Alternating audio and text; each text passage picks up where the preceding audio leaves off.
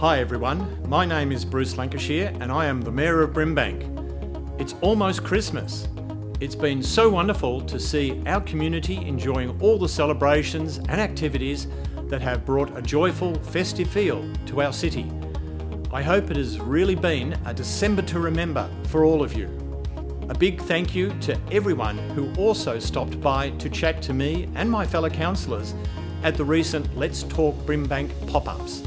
It was lovely to meet you and we appreciate you sharing your ideas for our city. As we head into warmer weather, let's remember to keep cool during the hotter days. Stay in the shade, wear a hat and drink plenty of water. And as we get ready for the Christmas and New Year break, please remember that there will be some changes to the opening hours of our centres. Our customer service centres will be closed on public holidays. Waste services will run as normal. All curbside collections will continue on public holidays throughout the Christmas and New Year period.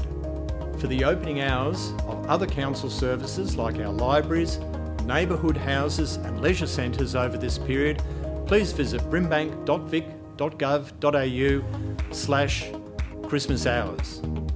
On behalf of Brimbank City Council, I wish you a lovely Christmas and a happy and safe New Year. I hope you can spend it in ways that you enjoy and with your loved ones. And that's it from me for now. Take care and stay well.